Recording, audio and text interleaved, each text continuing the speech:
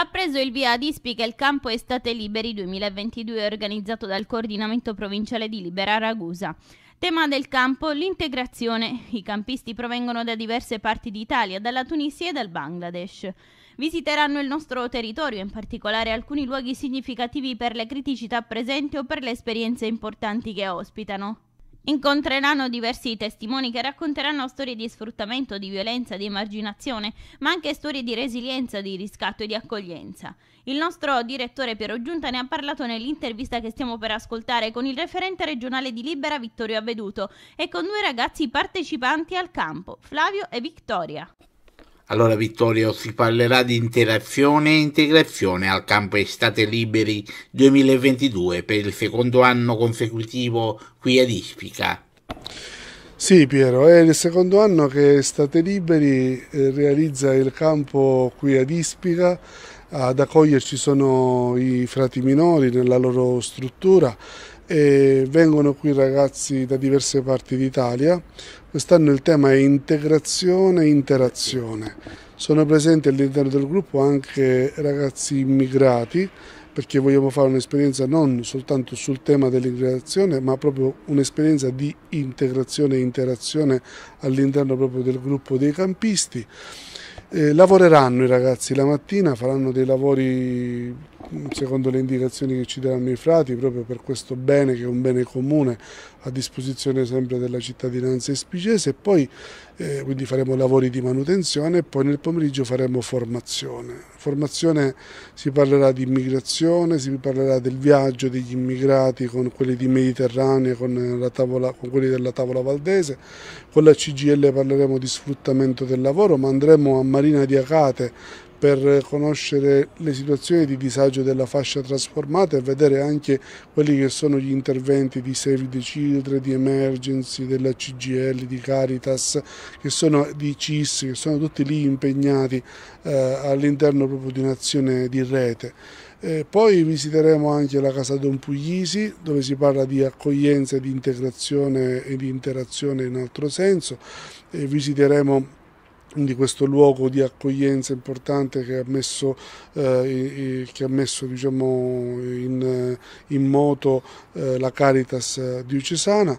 Eh, poi avremo anche un momento di condivisione con quelli della Giovanni XXIII e quindi faremo un momento anche di condivisione con i bambini ucraini che attualmente sono lì ospiti.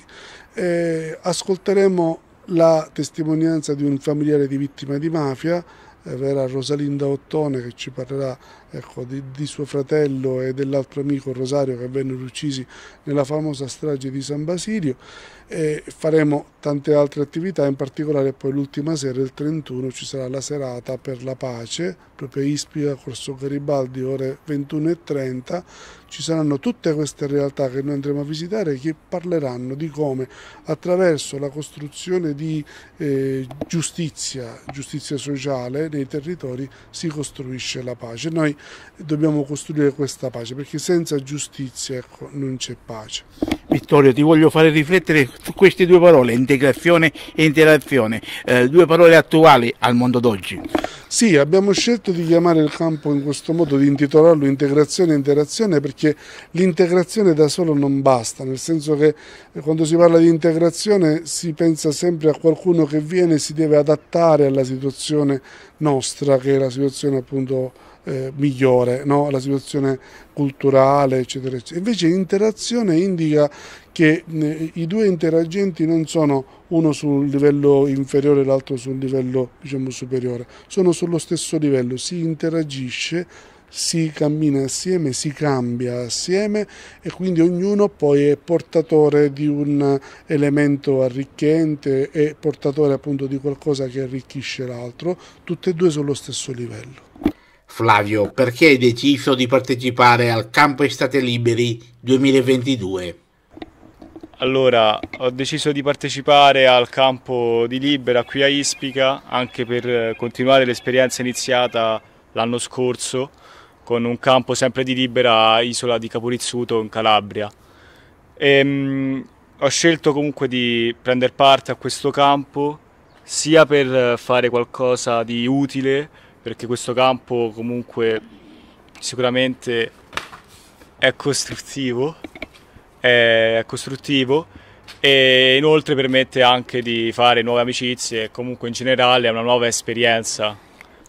Vittoria, la stessa domanda che ho fatto a Flavio. Perché hai deciso di partecipare al Campo Estate Liberi 2022?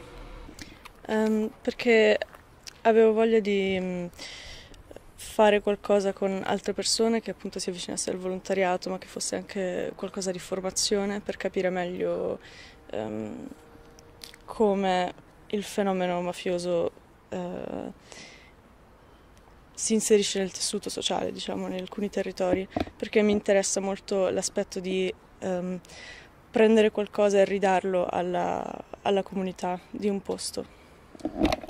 Eh, cosa ti aspetti da questo campo?